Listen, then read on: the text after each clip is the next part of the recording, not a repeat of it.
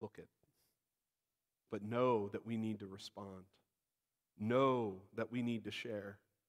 And know the importance of it. We love you, Lord, and we pray this in the mighty name of Jesus Christ. And all of God's people said, Amen. Go ahead and have a seat this morning. The topic that we're going to talk about is one that's very important.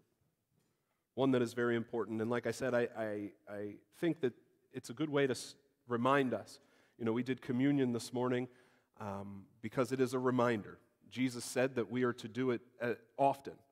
Why? Because he knew we would forget, right? It reminds us of his love, it reminds us of his, of his sacrifice, it reminds us of the forgiveness that he offers and the price that he paid that we could have our salvation. And just like communion reminds us of that, it's, it's this text this morning that reminds us of the basic message and the basic mission of the church, the basic quest of the Christian, which is that we are to go forth preaching the gospel, telling people how they may be saved. And can I tell you this morning, church, salvation in a lot of our churches, specifically, I would say in a lot of Methodist churches today, is not preached the way it should be, or is not preached enough. In fact, in a lot of times in our culture today and in many uh, more progressive churches, we find that salvation in Jesus Christ alone is a very controversial topic because of the pluralistic society in which we now live. We're to say that Jesus Christ is the only way and the only truth and the only life is a statement that is controversial. Because how dare we say that we have the truth and nobody else? But can I tell you, folks, I don't have to say that we have the truth in anything else, or, and, and nobody else does. This book from God tells me that we have the truth and nobody else does. And it's that truth that we are supposed to share because it is for everyone. And the text that we have this morning, it provides a blueprint of what it looks like for someone to come to know the Lord Jesus Christ, someone to become saved, someone to follow Jesus and how to proclaim it and what to say, which I think is something that we all get tripped up on sometimes, right? We okay, we know we're supposed to share the gospel. We know we're supposed to be proclaiming Jesus, but what do we do when the situation presents itself? Uh, what do we say? How do we react? I think those things can all be found in here. And so while we look at the text, let me give you a little background. Paul and his brothers, Paul and Silas, are in jail. They've been put in jail because they were preaching the gospel. They were put in jail that while they were preaching the gospel, they actually loosed a demonic girl who was being used to bring money to some men.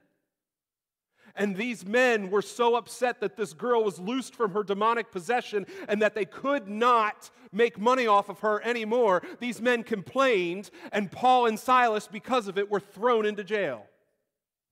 Ladies and gentlemen, Paul and Silas were put into jail in the first century for sharing the gospel and for someone to be saved and loosened from demonic possession. Can I tell you, we are not that far away from a situation like that returning in our world today. The gospel is a message of power. The gospel is a message of freedom. The gospel is a message that will turn someone's life around. And listen to me when people who take advantage of other people in their demonic strongholds lose that power because of the gospel, those agents of darkness will come after you and try to shut you down. We're seeing it already. Just north to us in Canada, they're getting ready to pass a law that by preaching against human sexuality as the culture knows it, whether it's homosexuality, whether it's transgenderism, to expound a biblical viewpoint on that will soon be punishable by law as a hate crime.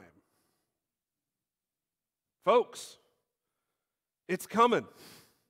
If it's just north of the border, it ain't too far from the United States. We're seeing it. People don't like biblical truth that sets people free, and the enemy will work to not destroy it, but to shut it up. Paul and Silas are in jail. And in their jail, look at what it says in verse 25. I love it. It says that at midnight, Paul and Silas prayed. They weren't down on their luck. Amen. they weren't discouraged. Amen. Come on now, we think that we get thrown in jail for doing the work of God. Some of us would start throwing a pity party and saying, My God, my God, why have you forsaken me? That's not Paul and that's not Silas. May we have the spirit of Paul and the spirit of Silas. Oh, wait, if you know Jesus Christ, you got the same spirit of Paul and the same spirit of Silas. It's the Holy Spirit. And it says that in jail, in their hour of need, they prayed. It says they prayed. And not only did they pray, what's it say in verse 25? It says they sang praises unto God. They had a little mini worship service going on in the prison. They may have said, We're going to keep you from trying to spread the gospel outside of the walls of the prison, but praise God, they couldn't stop them from sharing the gospel on the inside of the prison. It didn't matter where they were. They had prayer in their mouth, they had praise in their heart, and they lifted it up and they sang. And I love the last part of verse 25. Look at what it says it says, And the prisoners heard them. Oh, come on now. Can I tell you? The world is not only watching when you, as a Christian, go through hardships in your life. They're not just watching to see how you respond. They're not just watching to see how you're going to take something, but they're listening to what you're going to say. They're listening to how you're going to pray. They're listening to what's going to come out of your mouth. And what better way that when you, as a Christian, go through persecution and go through hardships and get thrown out and get put down upon by this world, that you still have prayer in your mouth and a song in your soul, and the prisoners heard them. It speaks to the world. It speaks to the world. And it says that when all of that had happened, and, and by the way, the, the verse starts, it says, and at midnight. Can, can I, that's a whole other sermon for a whole other day. You could preach, Pastor Peter probably agree with me. You, you could preach on just those three words right there at the beginning of verse 25. And at midnight. What did mid? Uh, I, I, no, I'm not going to. No. It, it, it, I got to stay away from that because, you know, it's the new year and, and we celebrated a new year at midnight. Come on now. You see, God moves. I'm not going to stay away from it. God moves at midnight. Come on. It was a new day. It was a new year. You know how powerful it is for you? We make these resolutions, right? We make these resolutions at midnight for a new year. You know, it says that they started to pray and praise at midnight. You know what? It was still dark outside. Amen? it was still dark. Listen to me. When God moves at midnight, it could still be dark in your life. Your surroundings may still look the same, but God moved in the midst of it. Have faith that God's moving and working in the background. He moved at midnight. He moved at midnight. I'll stop there. I won't go any farther on that one. But look at what it says. He said there was, it says there was a great earthquake. Come on now. There was a great earthquake. The foundations of the prison were shaken, and immediately all the doors were opened, and everyone's bonds were loose. And the keeper of the prison, awakened out of his sleep, and seeing the doors were open, he drew out his sword and he went to kill himself. The prisoners are going to escape. He was going to take his life because I might as well take my life because when Rome finds out that I, let, that I lost my prisoners, they're going to kill me anyway. I might as well just go ahead and take my own life. And when he went to do it, what happens? Scripture says that Paul speaks up and says, No, don't. We're all still here. We didn't go anywhere. You see, the jailer thought that when they were presented with the opportunity of freedom, that they would run. Can I tell you? If you've got Jesus Christ as your Lord and Savior, you are more free than any worldly institution could ever try to enslave you. You don't need the walls to be outside the walls of a prison or the walls of a jail cell to tell you you're free. You can be in the midst of the jail cell and still be free in Jesus Christ. Amen? And the jailer was a little surprised. And he asked a very simple question. It says he ran to Paul and Silas and he fell down. And in verse 30, it says he brought them out and he said, Sirs, what must I do to be saved? What must I do to be saved? It was a very simple question. The question almost seems to come out of nowhere, but when you look at the surrounding circumstances, it's a simple question, and oftentimes circumstances that bring about that simple question in our lives. Maybe it was the desperation of losing his life. Maybe it was desperation because he thought he was going to lose his job. Maybe he was scared because of the earthquake that had just happened. Maybe he was confused because of the inmates' reaction. Right? They could have left, but they didn't. Maybe it is because the, the stage had been set because Paul and Silas had been praising God. And so the Holy Spirit had started softening and working on the jailer's heart. And he thought, who are these guys and who is their God that they would sing praises while they're in jail for him? Whatever it was, something brought the jailer. Something made the jailer realize. Something about Paul and Silas crying out and telling him, No, spare your life.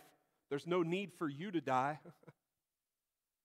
There's no need for you to die. But it says that the jailer somehow understood his condition, understood the circumstance, and he cried out, Sirs, what must I do to be saved? You know what I find really interesting about it? How polite the jailer is in his question. It says, Sirs, what must I do to be saved? You know, when you're desperate and you think your life is on the line, can I tell you, a lot of times your humility starts to show. He's addressing prisoners, he's addressing what Rome would consider enemies as sirs. He knows they have something that he needs. And he's being polite in how he asks. He says, Sirs, what must I do to be saved? You may be saying, Well, saved from what? Well, saved from death. Saved from death. He realized he needed to be saved from death. In that moment and in that condition and in that circumstance, he had heard all about what he needed to be. What do you think Paul and Silas were singing about? They weren't singing some random tunes, they weren't singing the top 40 of Rome during the time. They were singing about the redemption of the people of God. They were singing about the gospel and the glory of God. They were singing things that they were freestyling on the moment, but they were giving praise to God. You know what they were probably singing? The Psalms that you find in your Bible, the original hymn book of the church. They were singing those, and he knew his condition. He knew that he did not know the Savior. He knew he needed to be saved, and he finally had the quenching of the Spirit in order to go to them and ask the question what needs to happen. You've got life, I don't. You've got joy, I don't. You've got peace, and I don't. Can I tell you there's some importance there for your singing on a Sunday morning? Some of us, we think that I don't have a good voice, and so I'm not going to sing the songs. Jesus said, Make a joyful noise unto the Lord. Doesn't have to sound good. Can I tell you, when you sing in the congregation, it feeds off of other people. If you sing, more chances are that someone else is going to feel comfortable singing. And when that person sings, the Spirit of God starts moving. You listen to me, when they hear you start singing out the words of the hymns and of the praise choruses, the Spirit of God can start moving and softening hearts and speaking to someone that it may just be setting the tone that when that message comes, a response can take place. And the question becomes, What must I do to be saved? If you're saved and you know you're supposed to be here and you know you're supposed to be singing the hymns, don't stand there in silence when asked to sing of the praise and the salvation and the goodness of God. It may affect the heart of somebody that's around you that needs to hear it.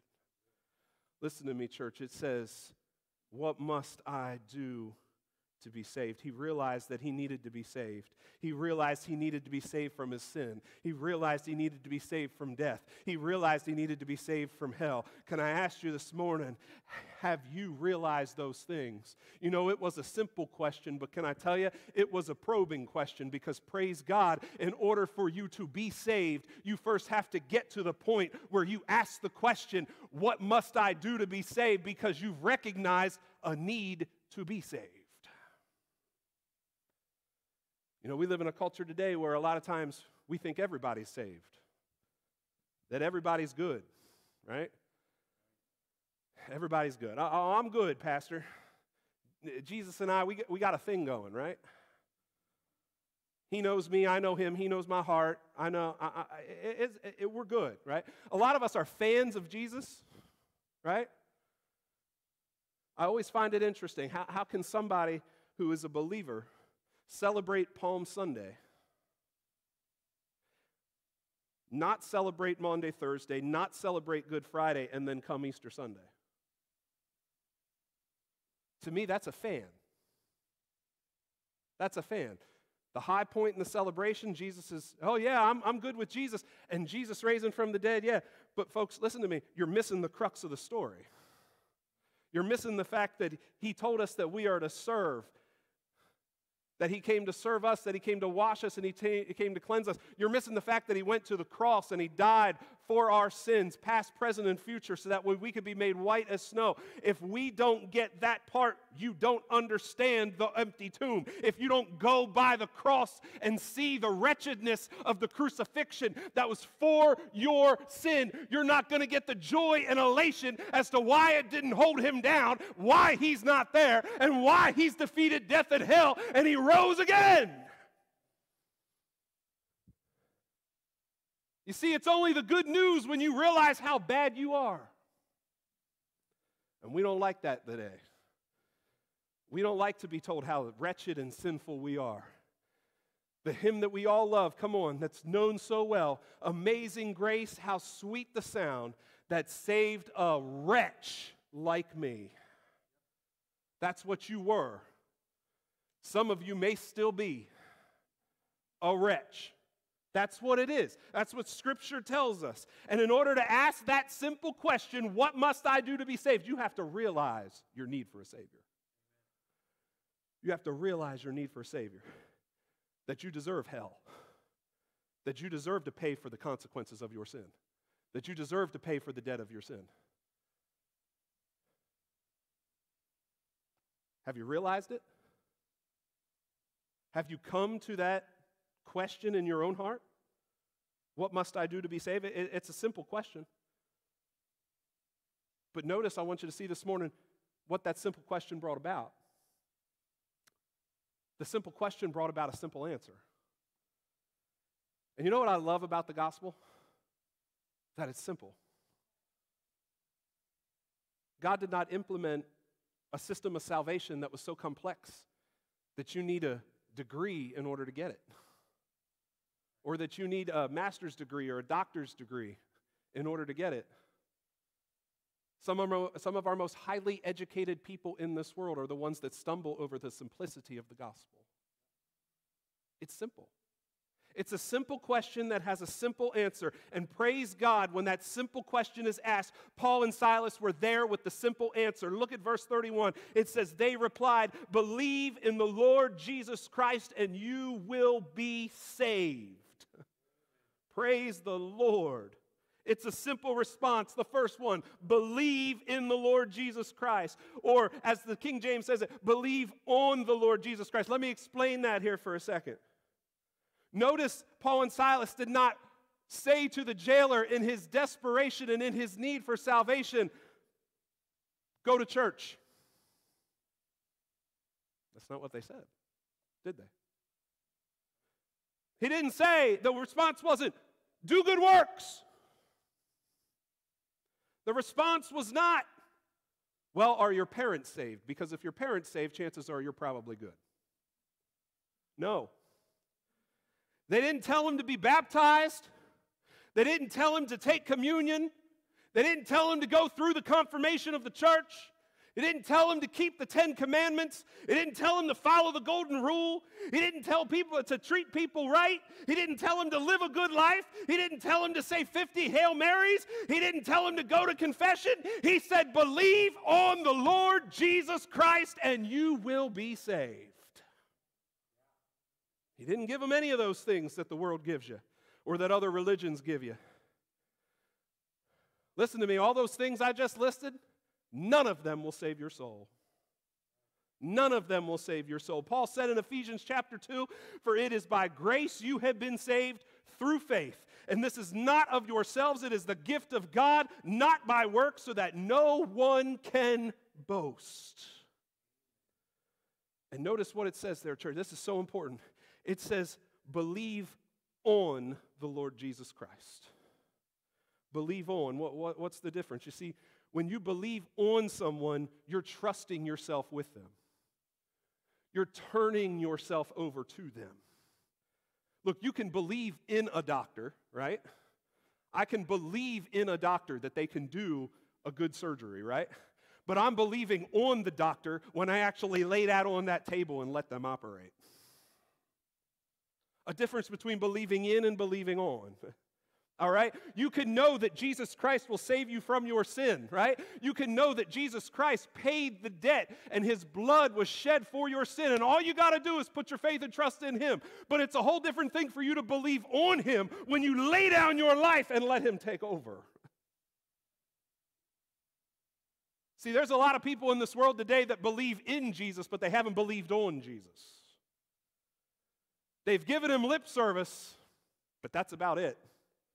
They know of salvation, but they don't know the Savior.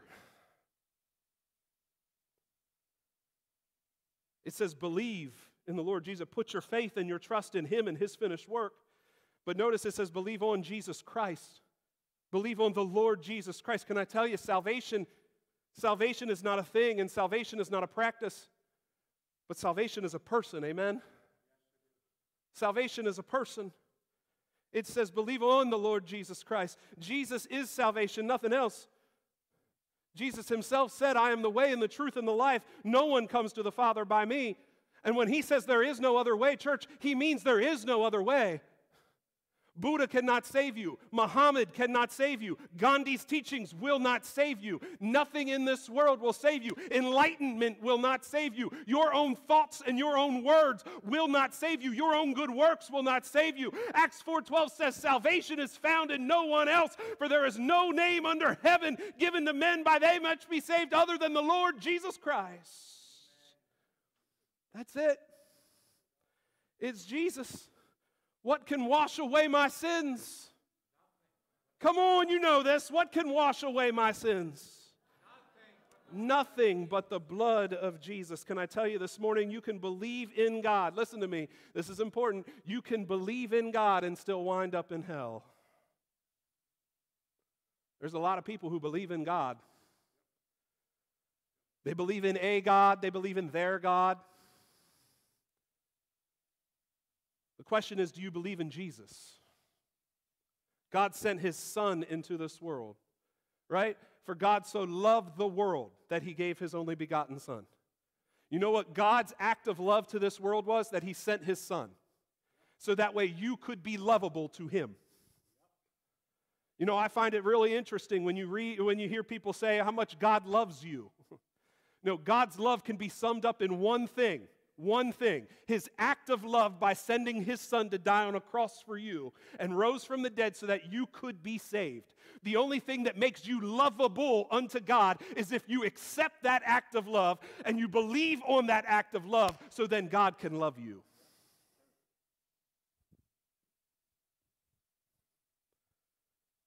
But all roads don't lead to God, folks. If so, he wouldn't have sent his son. And I know we looked at this verse a couple of months ago, and it should scare you, it should scare us, it should make us, it should make us remember the importance of the gospel. But even Jesus said, For wide is the gate and broad is the road that leads to destruction, and many enter through it. But small is the gate and narrow the road that leads to life, and only few will find it. But while it's a simple answer that has a simple Savior, and has a simple direction, can I tell you, it's got some simple assurance in it as well. I, I, I love the last part of the verse. Believe on the Lord Jesus Christ, and you will be saved. You will be saved. You, know, you, want, you want to know why I like, I, I like that? It doesn't say you might be saved. It doesn't say you may be saved. It doesn't say you will be saved as long as you continue to do X, Y, and Z. It doesn't say, and you will be saved as long as you feel like you're saved. It doesn't say, and you will be saved as long as you tithe and you serve and you do this and you act. No, it says, and you will be saved, period. Come on now. You will be saved, period. Hebrews 7:25 says, "Therefore he is able to save, listen to me, completely."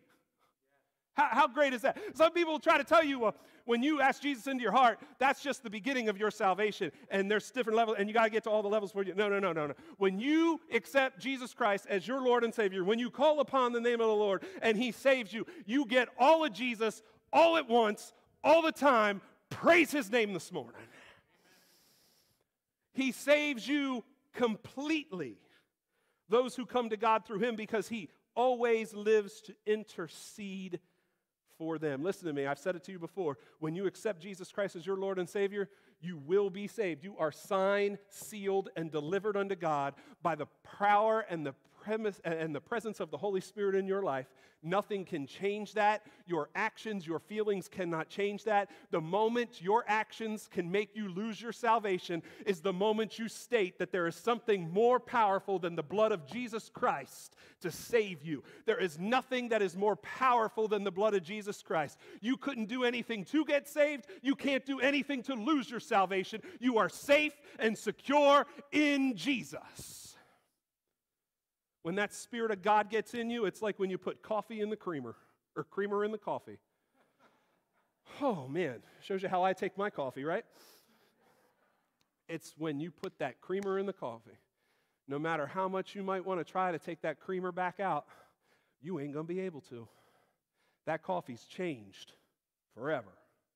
Just like you. When you put your faith in the Lord Jesus Christ and you call upon His name, Scripture says the Holy Spirit comes and fills you, and there ain't never, ever going to do anything that you could do or any power that may come that will be able to take that Spirit out of you until the Lord calls you home. It is a deposit on your salvation. And look at how it changed this man's life. Look at verses 33 through 34. This simple answer has a simple change says, And at that hour, he took them the same hour of the night and washed their stripes and was baptized, he and his family straightway. And when he had brought them into his house, he set meat before them and rejoiced, believing in God with all his house. Folks, this is a man that went from being trembling and shaking and fearful of his job and of his life to now someone who is serving and has joy and has hope. Can I tell you, that's what the Lord Jesus Christ can do for you. It doesn't matter what your circumstances may be. The jailer's circumstances are a lot different, probably, than your circumstances, but they still involved, right? Unknowns. Life, death, fear, frustration, all those things. And Jesus Christ, when he came into his house and came into his heart and came into his life, changed every single one of them. The surroundings didn't change, the circumstances didn't change. What changed is that Jesus was now living with this man in his heart. This man had given his life to Christ. And check it out. It may be a simple answer, but it's got a profound effect. It changed his life, and listen to me, it changed his family. It says that not only he was saved, but his whole household then was saved. Now, there's some Methodist theologians that will try to tell you that this is symbolism for that, you know, uh, uh early children were baptized. It's not. It's not. It doesn't say anything about it. What it does mean is that anybody can accept the Lord Jesus Christ at any age. and the man went back, and the man had prominence and authority in his house, as the man should. And because of that, they listened to him, they respected him, they revered him, and said, I've taken him as my Lord and Savior. Here's why, and I think you should too. And his whole family followed him. Listen to me. Husbands, men, grandfathers, you want to have a profound effect on the spiritual well being of your family. Number one, profess faith in the Lord Jesus Christ, and then tell your family about the Lord Jesus Christ. Most times, if the Lord gets you, man, That's why the enemy works so much against men in this culture, just so you know. Because if you can get the man out of the way, the rest of the family will crumble. Listen to me. It says, it says that it was the man that then was able to bring salvation to the rest of the family. They followed him. They followed him. Men, you are the leader in your family for a reason. You are to be the spiritual head in your family for a reason. Take it seriously. There will be a profound effect when you make an answer to the simple question with a simple answer. But how about you? Have you been there? You know what I love? You even see the testimony. Before we get to the conclusion, this is something that isn't really talked about. But if you go into the next section of Scripture, you know what's really neat? You see the integrity of Paul and Silas and the love that Paul and Silas has for the, for the, for the jailer that is now a brother in Christ, right? What is the penalty if the prisoners escape? That jailer dies. You know what it says in the next section of Scripture? It says that after the jailer took them to his house, fed them, cleaned them up, met their family, was able to present the gospel to their family. Listen to me. In the next section, they're back in jail. They're back in jail. It says that the jailer comes and tells them that they're planning on just letting them go. And Paul and Silas say, No, we want to talk to the authorities as to why they put us in here. What kind of prisoners do you know that get let out and then willingly go back into their jail cell and wait? No, I don't know of any, except for men who have a heart and a desire for that man who just came to know Jesus Christ as his Lord and Savior. They just didn't preach the gospel. Listen to me. They lived the gospel.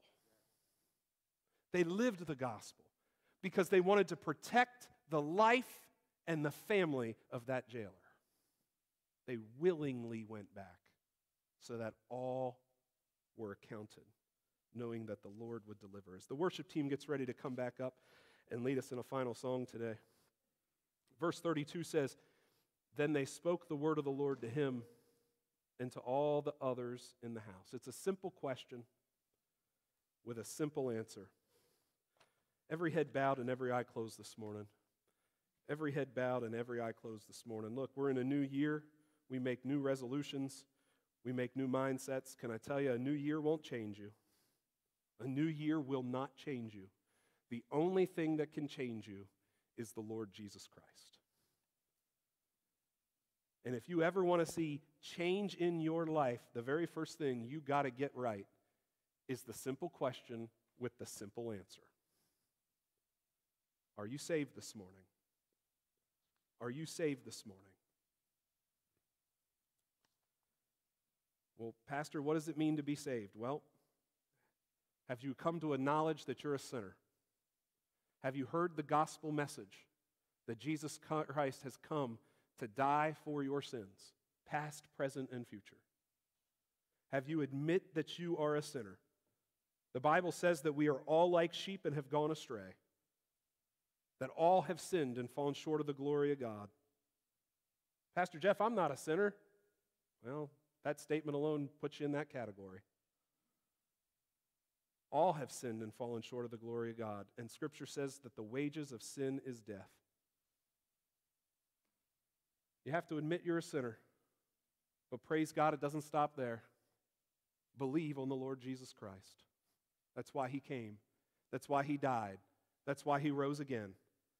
It says, But the gift of God is eternal life through Jesus Christ our Lord. That God demonstrated his own love towards us, that while we were still sinners, Christ died for us. Isn't that wonderful to know that you don't have to do anything to fix yourself up in order for you to accept Jesus Christ as your Lord? Jesus will take you just as you are right here and right now. He'll clean you up later. He wants you to come as a broken, lost, dirty, vile, wretched sinner. That's what he came for. He didn't come for the righteous, he came for those who are lost believe on the Lord Jesus Christ? Have, have you put your faith and trust in Jesus Christ this morning?